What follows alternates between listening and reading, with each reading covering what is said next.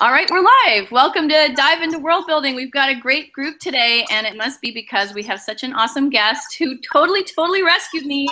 This is uh, Tonya Liburd. I think that's the way I say it. Liburd. Liburd. Liburd. Okay, and and you like birds, so that works out well. and, uh, but anyway, thank you so much for joining us today. Uh, Tonya is a, is a, a bird lover and um, probably uh, and also a writer of short fiction and long fiction. Um, but we're going to talk about some of her short stories today. She's also an editor and a poet, and uh, you know the list of amazingness goes on and on. Um, she's joining us from Toronto today. Yes. Yes. So, all right. Well, thank you for thank you for being here.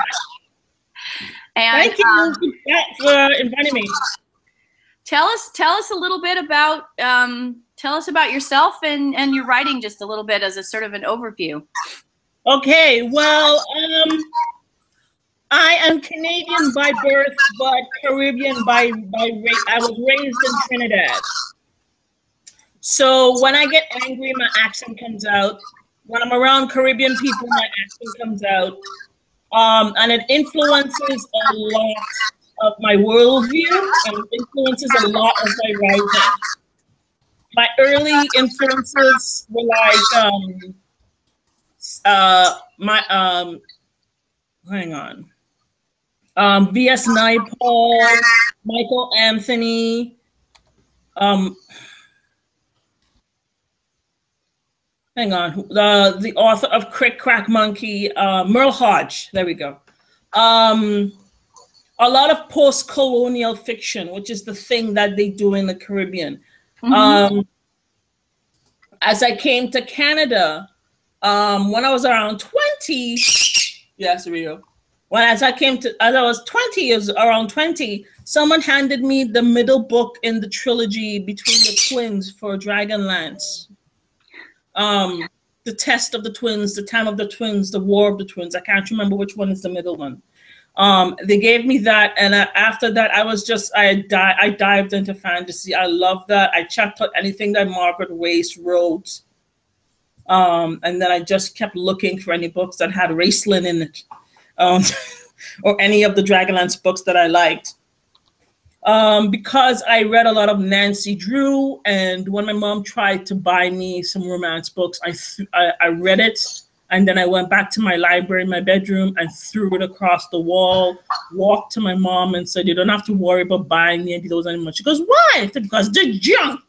She goes, okay. So that was not the genre for you. oh, no, no, no. You know? Um, I read Things Fall Apart at a very, very age, mm-hmm. very, very young age. Um, a lot of books like that. Um, influenced us. Like I said, Trinidad, uh, the Caribbean's fiction is very post-colonial. Yeah, and still is. Um, um, I uh, I haven't read of a lot of Walcott stuff, but because V.S. Naipaul's in Trinidad, I've read A House for Mr. Biswas and a um on a, on a on a bunch of other stuff by him, um, and, and Trinidadian authors. Mm-hmm. Um I try and bring that into my fiction as much as possible. And what I do is I use language a lot. Um, if you speak, if you are from the English Caribbean, the dialect is called patois. If you're from the French or the Spanish speaking Caribbean, it's Creole. Um, so I speak patois and I bring patois Trinidad, and each and patois for each island is distinct. So, for example, when I was editing um, Celeste Rita Baker's uh, story for uh, um, name calling um, last year, was it last year, Wendy? Wendy, was it last year?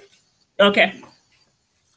Um, that was a fantasy story written completely in Virgin Islands dialect. Oh wow! Um, so some words I had to go, what does this mean? What does this mean? Because every island has its own particular words for something. the same fruit can have a different name in Jamaica and a different name in Trinidad and a different name in Guyana. Um, and I bring a lot of that into my own work. It, for, and uh, it seems to be working. For example, my first ever published story um, was in a Canadian anthology, Postscripts to Darkness. Mm-hmm. I used, uh, I did what they call code switching, as in switching from standard English to a dialect or even a different language. Yeah. It's code switching. Nisi Shawl saw it and she decided to start using it in her workshops. I got flabbergasted. I didn't realize that this was something that people needed to know and weren't exposed to a lot because I grew up with it. Yeah. You know? Um my dad is from Nevis, my mom is from St. Vincent. Not um, but they met at U of T, um, University of Toronto. Um, I was born in Mount Sinai, which is the hospital right next to University of Toronto. My doctor is still there. Mm-hmm. Um, I went there when I was about when I came back to Canada. I just went straight to Mount Sinai and got a family doctor there. Um, so she's still yeah. my family doctor. Yeah. Um. So does that? Let me ask you else? something, Tonya. Okay, so um, what what yeah. what stories do you have out and available right now? Okay. Um. The Ace of Knives is available through Postscripts of Darkness on their website. If you go to my web, my about page on my website, I have a link. Mm-hmm. Um, it's spiderlily.wordpress.com. Um, let's see. Schumann is over at Expanded Horizons. Um, and just the other, just two days ago, on the sixth, um, Akashic Books has a flash piece of mine up for their Mondays on Murder series. Um, and my story is called Home Again, Home Again, Jiggity Jig. Yeah. Uh, let's see. Everything else is behind a paywall. That's all right. Um, all right. Um, the uh, on January, um, an anthology called Uncommon Minds was launched, and I have a story called Through Dreams She Moves. In that, I'm going to have something through, I think, Raven Wolf Publishing next month. Um, it's a dark fiction story called um, hang on i'm blanking um don't worry about it there are many things that tonya has written and they are all very cool go find them that is the that is the quick summary of what we've just heard and and and Tonya, you just had a really exciting sale, I think, to the book smugglers. Am I correct? Yes, yes, yes, yes, yes, yes. That's coming out in July. Um, so, so for that. Yeah, want to talk about that? Sure, let's do it. Okay, all right. Um, let's pimp this book because originally I wrote it for the anthology. I was asked to write a story for for so long been dreaming. And if you look at the copyright, it says 2004. So like I say 2003, I was busy writing something that would be for um, so long been dreaming. I had a very good concept, but I don't think I had the chops to pull it off. It got a I got a personalized rejection saying you know Nalo and Uppinder said it was very very interesting and everybody said it was very very interesting but you have to fix it. You have to refine it. Um so I got this I got discouraged and because I didn't know of anyone who could help me put my send my send my craft to the next level so I had it in the back burner for years um, several months ago, I started, I took it out and I said, I've always liked this story. Let's give it another go. Let's see if we yeah. can find a home for it. you know and that's the reason uh, um, that's the thing when you write something for a theme you end up with a story that potentially could get rejected and then you have to find a home for it Mhm. um, which just complicates your your your your your your, your, your stock that of stories that you have yeah. so Well, especially when Um, the theme is super I- specific. Yeah. So I went to new age bookstores to get some ideas, and I came up with this fascinating book. And I did research on it. It's called The World is Sound, Nada Brahma. And they have some fascinating um, theories about Indian music um, uh, and jazz and how the the, the, the traditional ones where I think it's the, the tradition. It's been a while since I read the book, but it's a traditional music where you need to have a, a, a mentor teacher in India to teach. hmm uh, that and jazz, they have very similar origins in terms of how it's composed, how it's, how it's and um, some very similar. And I went and used um, um, sound. If you hear a crunching noise, that's Rio attacking a paper. um, yes. Oh, sorry. Did I stop you? Yes, I did. Okay. um, um, so there's a whole thing where there's sound, and I wanted to write about ancient Egypt. So I brought that in, and I want um, I just wanted to make it science fantasy, and apparently I succeeded. They ended up, you know, it was a very glowing um, acceptance letters saying Mm. that uh, it's one of the best stories they've ever received Wow. which blew my mind. Yes, you know. Um, and I'm and I'm interesting to see the illos that will the illustrations that will come with it. Mm-hmm. So this is book Um, photos, right? They illustrate their stories. Yes, they do. They st- they yeah they tend to do the same thing like you know like Tor does. Mhm. Um, That's cool. Um, so I've read some some stories by book smugglers like when they first started out. Um, I can't remember the name, of, uh, but I but if they're on Twitter, I immediately follow them. Um, So, um, did you do any research on ancient Egypt when you were working on it? Yeah, yeah. I mean, my mom gave me a book on ancient Egypt when I was very small, and I fell in love with ancient Egypt ever since. So I had some familiarity with it. Um, I had to find out about how the buildings were, um, what they were made of, what the temples were like. So um, that um, you can tell you can tell that I've done some homework on that respect Mm-hmm. Story that I saw where people were talking about the um the pot- the potential for homoeroticism between the story between Set and Osiris. Mm. Um yeah. Um, I think I may have saved it on my hard drive, but if not, so I I, I, I want to have a hell of a time finding it on the internet because I can't quite recall the title. Mm. But that's fodder for another day.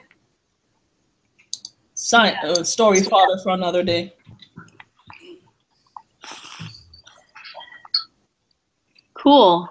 Um, okay, so I had some, I had some questions. Uh, Okay. I well, you mentioned that you mentioned that you are um, a poet. Yeah, I don't really think of myself as a poet, but poetry comes out of me anyway. um, I um, a lot of my starting, a lot of the poetry I started out writing literary poetry, and that's what I won a prize for in um last year. We have to um or, or um had a, a writing competition, and I came fourth oh, cool. um and it was it was it was a serious treatise on um mental illness and the perceptions of mental illness, um, and how people are treated and the isolation and everything. You know, dealing with family who don't want to research what your illness is, but they want to tell you how to live. They want to give Mm, you, yeah. you know, that kind of stuff. Um, none of the stories were happy ones, and my poem was not exactly a happy camper poem.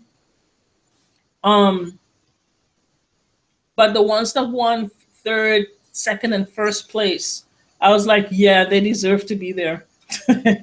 Yeah. Um, so I won seven seven hundred and fifty dollars for that, and that you know I went and stocked up on um um on on soap, on toothpaste, on, awesome. on, on on all these things that um that that that uh, you know cause problems to me and everything. I still have at least eight pieces, eight bits of dishwashing liquid because when you're single, you don't really go through the dishwashing liquid as fast as if say if you had four people with you.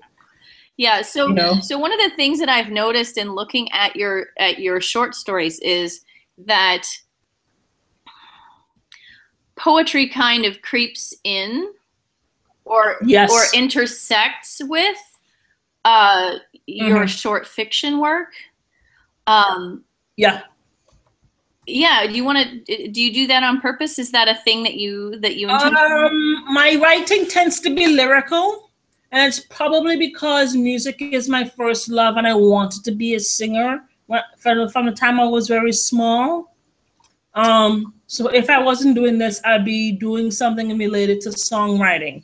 Mm, And I've written, I've actually written a song. Um, it's called Norman's Knuckles, and it's about a guy dealing with the effects of of, of watching his sister being abused.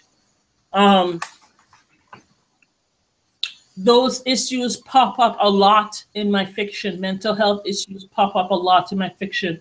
Pop up in The Ace of Knives. They're in um, Human. mhm. Uh, um, there, the story that I just sold to Mary Anne Mohanraj's Survivor Anthology. Yeah. Abuse issues grew up in there as well. Um, not so much in Through Dreams She Moves, but the guy is in a coma and she helps him out. So not so much in that one. Well, I mean, But- it does appear though in uh, in in in the mom. Yeah, yes, yes, yes, yes, yes. That's right. In the mom, and she has to deal with those things. Um, the long version of Home Again, Home Again, Jiggity Jig. um, the guy decides to leave his his wife and family because they have a family history of mental illness, and he decides to leave them. Um, henceforth, why he finally all of a sudden finds himself dying a lot. Um, a lot. you got to read it to Uh, believe it. um, dying a lot. Yeah.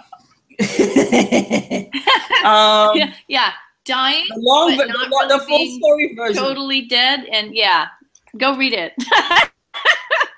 Yeah. The, the long story version of that is being. Uh, I have a rewrite request for it. Um. So hopefully that will um. Like they said, the word the market has made the market where it is at is made some really good suggestions for rewriting it. cool. um, they want him to, to change and everything. So I, I thought I made him change, but apparently they want him to change some more. That's fine. Um, the other thing I'm working on right now is um, um, I got invited to write a story for an invite only anthology, and I deal with sexual abuse in this story. Mm, and it uh, it's called um, Super Freak because it's based in the world of. Um, I have continued stories that are all in the same world as the Ace of Knives is, and the Ace of Knives. You know, um, Wendy had uh, suggested that maybe I should write more stories in this world, and it sounded like an interesting idea to me. And as Can you tell us a little bit about the world in general? Um, it's an alternate tomorrow, uh, Toronto. Um, everyone is born. Uh, everyone develops a unique gift at puberty. Any any kind of gift. Um, and there's systems in place to like in, in Super Freak. I start explain. I just start demonstrating the systems that are in place to help people. Um, to help people who maybe want to leave home and who wants who whose gifts are starting to shine um, because they're they, they, they they're in their mid to late teens. Um, and in another story that i have out there it's called a charmed life. It's waiting to be accepted somewhere. Um, there's a guy who could charm people by the by the by, by his words Mhm. um, and he has entered the hallowed halls of power and to the point where they want him to run the country and there's one person with the, almost the same kind of gift who can curse anybody take some debt oh I, I just spoiled the story for everybody That's um, okay. You know what? There's no spoilers. Like none of us are are people who can be spoiled by things. We're always like, I want to see how it's done. Trust me, you want to see how this one's done. That, that's the fun of it for me, at least. that one the ch- a charmed life was fixing I, I i want i saw an interview with um who's that guy from the hangover what's his name Popular Hang on, culture I- is not my fort. um, hang on um Zach oh, Galifianakis? Yeah yeah yeah yeah yeah yeah bradley cooper yeah bradley cooper a gq interview with bradley cooper and it's supposed to take place in an interview but something goes wrong in the interview. So i modeled it so much after the this is me trying to crib for the first time in my life and it was i'm never cribbing again. I can't do it. You know wendy looked at it and said this is wrong that's wrong that's wrong that what you doing? And it was like it was, it was like pulling teeth We work together a lot. That's good. Yeah, Wendy has chops that I don't. I'm trying to develop them, and they will help me run the magazine. And you know, so she has somebody who has more chops at the end. What Rio? That's it. Okay, all right. Oh, I know. Have you lost your toy? Give me a second. Give me a second. She didn't tell you about Super Freak. The thing about Super Freak is the protagonist doesn't have a gift and everybody else does, and that's what makes the person a freak. Oh, okay. Thank you. Yeah, her family does. There's issues of sexual abuse in there, and she runs away. She leaves the country that she grew up in to go to another country, lands in a hostel, finds a friend, gets harassed by other people with gifts and everything. Mm. And I wrote that within days after being solicited for it. So, um, Sometimes the stories write themselves. yeah, especially when you use your own life story as a as a as a backbone. um, I came to Canada very suddenly because of my mom's own death. Mm. and and this is something i mean i have prominent family members in the caribbean um like speakers of the house of representatives district attorney Mm. senators like in in in st vincent the my grandfather's wife not my grandmother but he married another woman Mm-hmm. Was a senator in St. Vincent. So it's on both sides of my family. And my godfather was the Minister of Education, and the Minister of Health for Dominica. Not the Dominican Republic, Mm. but Dominica. So for me to come out and just speak my truth, I might risk my family losing face, but they will have to deal eventually. And I think my family um, can survive me speaking my truth. I don't think it will, it will diminish their accomplishments one bit. I don't begrudge them their accomplishments anyway. Yeah. You know, um, uh, one of my cousins was the 400 meter champion for Nevis. Um, way back over here in, Trin- in Toronto, I'm doing 400 meters and I get the most improved player of the year the first year I'm in Canada. But, you know, saying that there's abusive elements in my family and that's why I'm on my own. Mm. I write about the, those those issues of I, I, um, I am passionate about and become in my fiction. Yeah. And I'm not sure if that's post-colonial, but it's it, it's conscious fiction for me. Yeah. Um, let me ask you about your. Um, I mm-hmm. think it's very interesting. I, I'm seeing a lot of. Uh, now, obviously, my sampling of your work is not, you know, I haven't read everything that's out there, um, but I'm seeing some first person present tense. I'm seeing a lot of second person. I think those are interesting choices, and I'm wondering if that's something that you do deliberately, or does it just come with your gut? Like, oh, it feels like the story has to be like this. Um, with Through Dreams She Moves. I had read Vajra Chandrasekera's, I think he is with Strange Horizons now. Okay, can you can you type that in somewhere so I can see the spelling? okay, hang on. It's uh one of those tight tongue names, it's long. Chandrasekhara. Yeah, it the vowel, uh, the, yeah. I'm checking Facebook. I will look. Thank you. That's his last okay. name. He's with he's with he's with Strange Horizons right now. He wrote a story uh, on being undone by a light breeze, which is written in second person, mm. and okay. it inspired me to start. It, it was the spark that got me starting writing uh, through Dream She Moves. But what I ended up doing in Through Dreams She Moves was combining first and second person in a way that Kelly Robson said she couldn't do in a million years. I did, yeah. So um, I I I I have a sp- I have a soft spot for that story because it was one of the it um it got longlisted for a ten thousand dollar award. Um, the Vanderbilt Carter Vanderbilt Cooper um, award for short fiction where you can get ten thousand dollars for it. Wow! If you win, wow. and that happened in 2015, and that just blew my mind, man. I, you know, you dream about it for it to actually happen, it still blows your mind. Mm-hmm. So I got longlisted, and that was the time when I was um the launch was happening for Postscripts to Darkness. So there was me, Bruce Meyer, who is the poet laureate for Barrie, Ontario and uh, Christina, oh dear, Christina Mischi, Mischioni, I think. Might be wrong. Um, Christina something. Cool. she actually won in 2012, so she got longlisted again.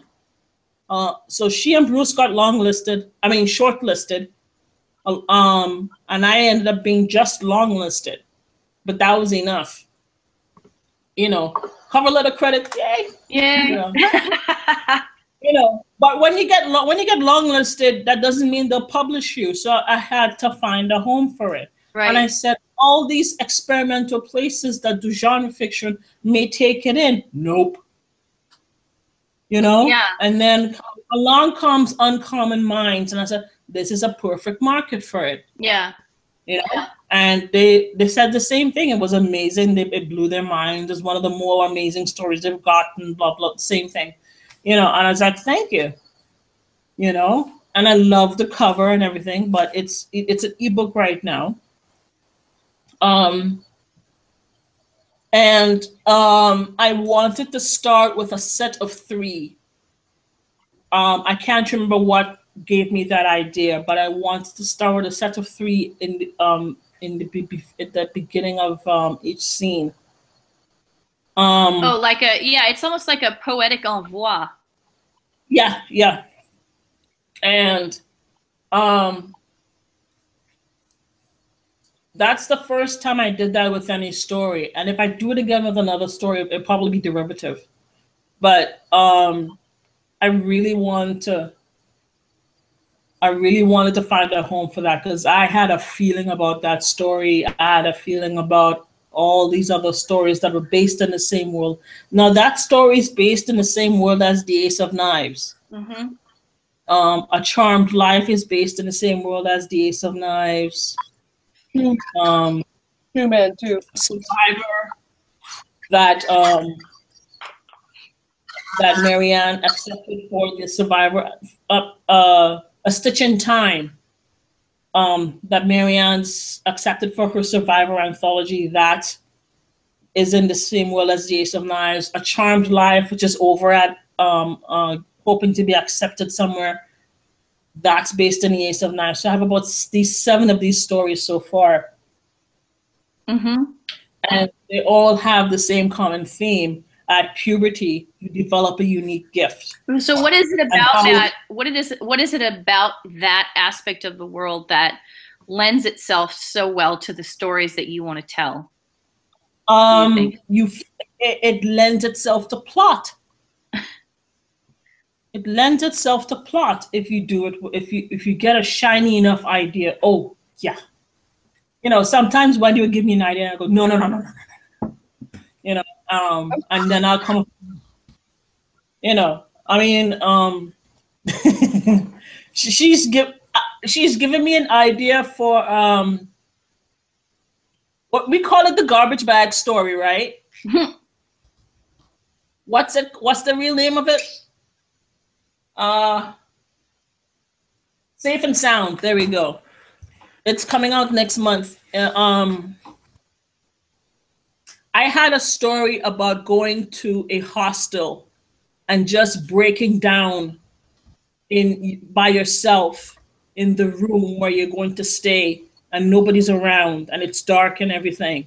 Mm. And you're just crying your eye your, your, your body's just like dry heaving every almost it's just heaving these cries out of you. Because all the stress of having to bring your or everything of yours in these garbage bags. Mm. and i had i wrote that story and i was between the ages of 16 and 18 and my english teacher said what's in those garbage bags? And i don't understand what he mean because uh, the way i wrote it it led people to think that there may be something in the garbage bags. So wendy just wrote i'm surprised there isn't blah blah blah because if i tell you what blah blah blah is it'll spoil the story for you uh, you know at the end. And i was like you naughty woman. I wanted to send that off to a literary magazine and you made a genre for me. And she doesn't like horror. And it works because the way the story is written, it comes as a shock at the end. Um, a lot of people like the way that works. And I decided to send it out and it got it somewhere. Um, but I think that was a tangent. What was the question? Well, I I think we were. I was asking you about um, what it is about this particular world that lends itself to going back and back to it. Um, Reggie, Because Reggie's everyone answer- has- Reggie a- a- is adding a question about that, which is, um, you know, do you do you come back to explore different elements of the same world, or is it because Yes. of yes. comfort in the same rules, that kind of stuff? Yes, to explore different elements of the same world. That's what I do. hmm Um, the Ace of Knives explores homelessness, um, trauma, um, um, cultural isolation, hmm um, code switching as well. Um, and somebody who has um, who cuts themselves, right? As as the main protagonist does. I've known people who've cut themselves, so um, I know what the mechanism. I know what what's behind the mechanism of cutting yourself. So I was very comfortable writing a character who cuts themselves because it would not be unrealistic. Um, which was the second story I wrote. I think it was Through Dreams She Moves. and I wanted to write about how would people who are sick in that world get healed, and that's how. Um, um, I think the next story I wrote was a charmed life. What is it like to run a co- to, to be in to be in a position of leadership in that world? Mm. How would that look like? And I wrote that story. Um, um, Survivor. Um, that was a character study, more more or less, but it still brings you more into how somebody into how somebody's gifts and somebody's two two people's gifts may intersect. Um, you know, the element of time travel and trauma again um, and two people connecting. Um, Schumann.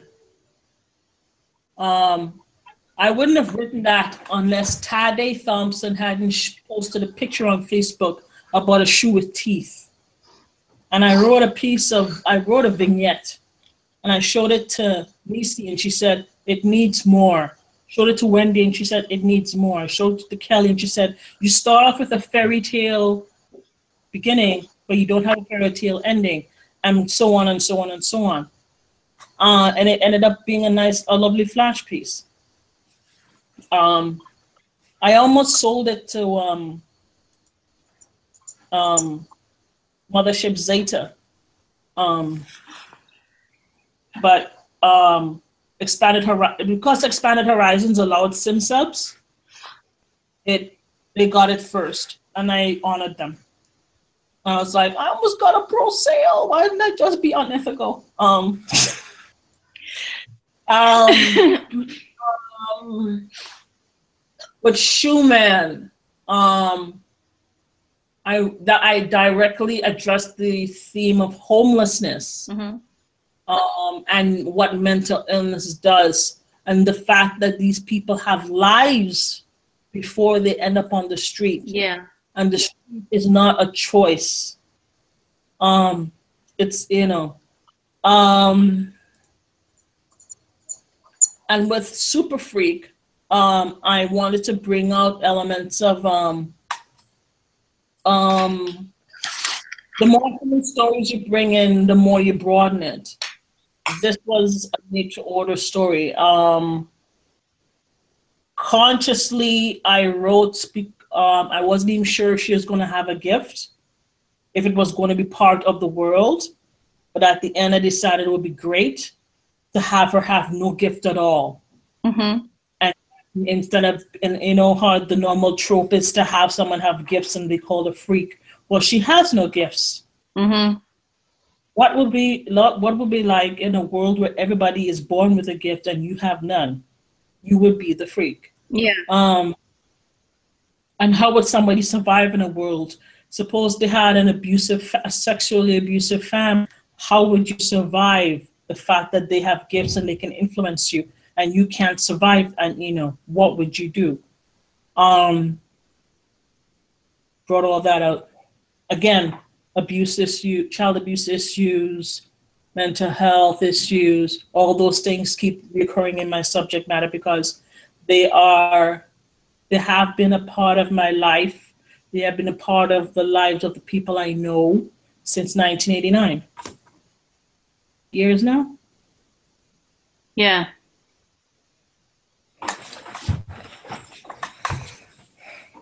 any other uh Yeah. So I have a question here from Reggie. mhm. Um, the, Reggie seems to have disappeared, but she she may reappear. Um, she wants to ask about self censorship. Do you worry about uh, what you can put into your writing and and what you can't? I guess would I wish you were here to, to yeah writing. I wrote a story called The Sweater.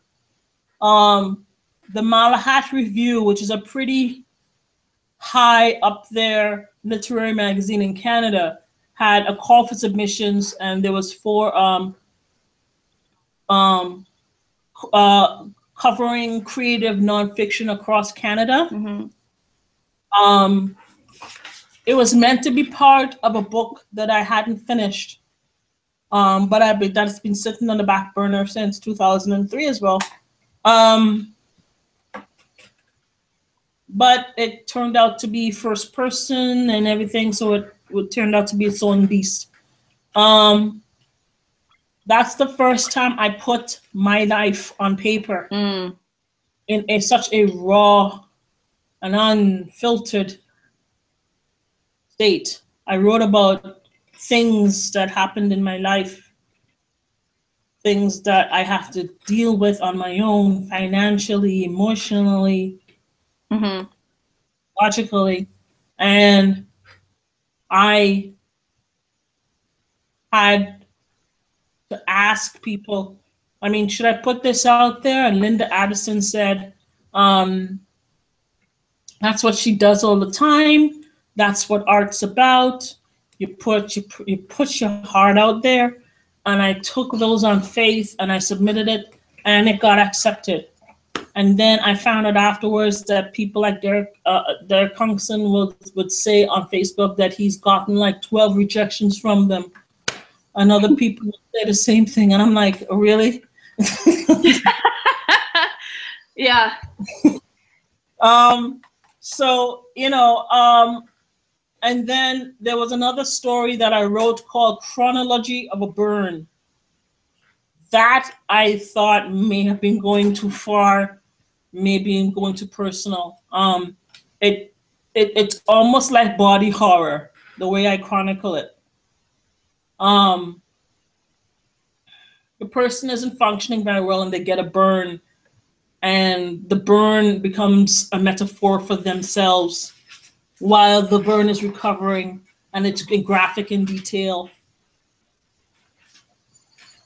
um, that is looking for a home so yeah those when it comes to my literary stuff yeah i worry because it's no hiding behind fiction you can't say well that's just fiction that's not real no, Yeah. you can't say that anymore.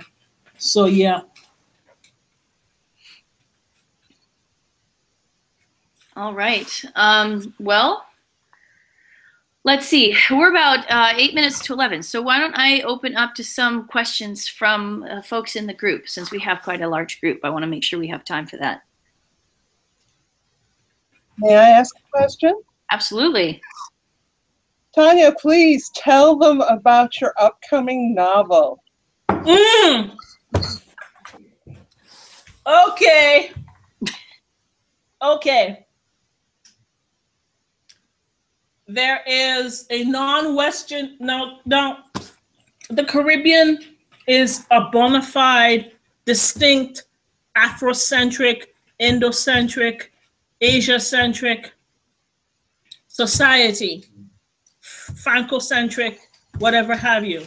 But there is a distinct Afrocentric society element to the Caribbean to the Caribbean living. hmm We eat roti the way everyone else eats pizzas. Okay. it's very if you want to know what a melting pot looks like, go to Trinidad. Okay? Spend some time there. We treat tourists the way France treats tourists, but don't worry about that. Don't be a jerk, and everybody will be nice to you. um, um, so my point is that it has its own. We have we have um, we have made our, our our impact on the world stage via politics, like C.S. Lewis. No, no, no, no, no, no, no, no, not C.S. Lewis. C.L.R. James. I'm confusing the two. There we go. Um, De- uh, Derek Walcott, V.S. Naipaul. He's won a, a, a, a Nobel Prize. Um, even a friend of my mom's, her name is Pearl Eintou Springer. Around the two, early 2000s, her books was used as course material at Ryerson University, York University, and University of Toronto here. So, um, we have our own distinct language. We have our own distinct folklore. Um, and the folklore is where I'm going to point at. We have our own vampire creatures. And I um written about them at least three times so far. The story takes place where um, a Soucouyant comes to Canada from Trinidad. She runs into. Wait, wait. tell them what a Soucouyant is. Okay, all right. Um, it's a okay. The Ewe people of Africa have a creature that's very similar to a Soucouyant. It's called an Adze. They can um, go through keyholes. Um, and they believe the, the belief is that creatures um, the West African monster um, um, folklore and the vampire folklore blended, and this is where we got the Soucouyant. The Soucouyant makes a deal with the devil, hides her skin in a wood in a, in a mortar or somewhere safe, takes it off and flies in a ball of flame, looks for babies first to suck their blood from because babies are be- babies' blood are best. Mm-hmm. Um, sometimes, in my creature, sometimes does animals. So when you see those lights in the sky, it's not UFOs, it's Soucouyants. wow. Um, yeah, she can go through keyholes and enter rooms, but if you surround your bed with salt, she gets caught with having to count every one. Yeah. If the daytime comes, she is dead, either by the sun or by the hand of somebody who does not like the Soucouyant being there about to kill their baby. Yeah. Right? Um, normal, you know, now you know what people tend to say. Huh? What did you say? So of course, the Soucouyant is the protagonist. the Soucouyant is the protagonist in the novel. She meets with a um, an East Indian woman from Trinidad who has been turned by a typical Western vampire. So you have a, a typical Western vampire and the Soucouyant living together, being naughty, pissing off powerful supernaturals who run things, and managing to escape trouble. so they bring in an adze that they control, and they know they're going to consume the adze. This the vamp uh, the vampire East Indian woman does not get changed as much, but because the Soucouyant and Adze are so have so much compatible magic together, she becomes changed a lot. She um the vampire has daddy issues. Her daddy, she catches her daddy burning up and everything, her stuff, and she goes on a rampage. Yes, but let's talk about how it changed her protagonist. All of a sudden, she's been infected with an icky thing called a conscience. Yes, yes. She has um thank you, Wendy. She has a conscience. She wants to form a grieving counseling group because even though her, her, her partner in crime has gone on a killing spree, she wants to comfort those. And this is this, and they end up splitting after a while and then she realizes that other people want to keep interest and then there's one people in the counseling in the grieving group who is um a rape victim gang rape victim and wants my um my my protagonist Soucouyant to erase her memories of the rape and she says she can't and even if she does that means they win do you want that and she still goes after she goes looking for trouble this this woman in the grieving group. Um, the reason there's a grieving group is her Western vampire partner went out because of her daddy issues on a killing spree.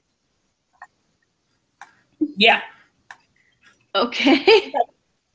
So, um, So I know the story. Mm-hmm. Wendy loves it. She, she I can tell. Best advertisement ever. um, so of course there are more powerful supernaturals who want her to step in line or else. And she has been stepping out of line for so long, they have devised a way for her to step in line was to change the nature of her conscience. So all of a sudden she wants to step in line. but she still does not like them or trust them at all. But um, if I get into any more detail, I give away a lot of the book. That's okay. That's okay. And we're out of time pretty much. So, uh, last minute thoughts, anyone?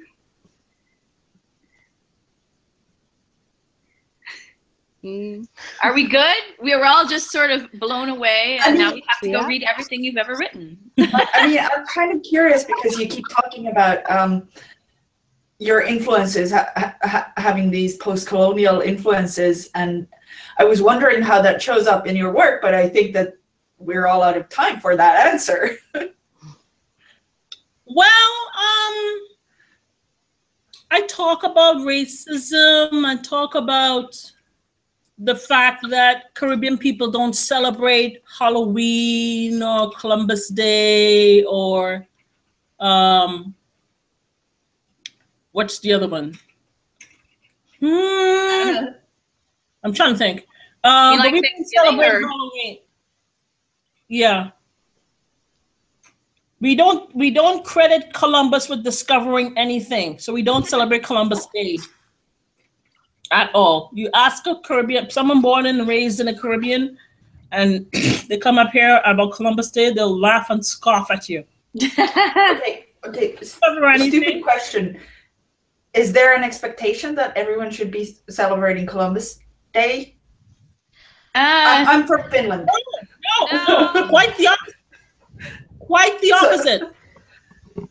Quite the opposite. No one should be celebrating Columbus Day. Yes. well, so so so Nina, for some context, Columbus Day is an established holiday in the United States, but even here in the United States, it's, it's becoming controversial, and there are quite a number of places in the U.S. that have changed the name of the holiday to Indigenous Peoples Day. Right. that part I know. So- Goal more. I'm I'm slightly I'm I'm just slightly thrown off uh by no, um it's dumb. It's dumb. don't don't worry about it. It's just no no no no it's it's just that I I um maybe I'm just not picturing how close Caribbean is to to the US. The Caribbean. Caribbean, sorry, sorry. Mhm. Uh, but maybe I'm just not picturing how close it is. But why would there be an expectation that that that they celebrate? It- There it- is- that's where that's where Columbus landed when he first. oh, oh, Yeah. okay. also Thank you. doesn't doesn't the US have a couple territories? Like like a the couple U.S. of islands? Virgin Islands. The U.S. Virgin Islands. Yeah. Okay, yeah. So so there you go. We've got our fingerprints and everything. Sure. Okay. Yeah. Please carry on. Uh, that's okay. I think I think at this point this has been fascinating, Tonya. Thank you so much for being here. Uh, we're gonna wrap this up. We just ran just a little bit over, but you know we always start a little bit late, letting everybody come in too. So thank you so much for being here. Thank you for letting us share how awesome Rio is. Oh, people wanted to ask what kind of bird he is. Yes. Yellow-sided conure. Aha! Reggie was right. It was a conure. He's very, very beautiful. That Um, was my guess. Was I have no idea how to pronounce that. Ugh. No, no, no, not a caique. No, not a caique. No, no, no, no, no, no, no, no, no. Okay, that was my guess. Yeah, was that? I was like, So, but I um, said like the tail's too long. So What? we will meet again. We will meet again next week. Next week, we're going to be talking about colorism and I'm going to be reaching out in the meantime to specific people who might be interested in this topic so that we have a more diverse group. We had to cancel it because I was relying on on fate to deliver my my my lovely discussants of color to me and it didn't turn out to be a day when any of them could make it. So we just visited we're basically like okay we're putting this off now. So i'm Sounds gonna, very interesting. yeah you're welcome to join us if you would like. Uh, you know you're welcome anytime. And uh and yeah we would love to hear hear your opinions on on colorism next week if you have the time but i won't i won't ever require anyone to attend. So i'm basically going to be reaching out to people individually over the course of the week and making sure that we have a good group to talk about the topic. Um, and i'm really looking forward to discussing it. All right. Wendy thank you so much for being here. You're welcome anytime. I'm going to stop the broadcast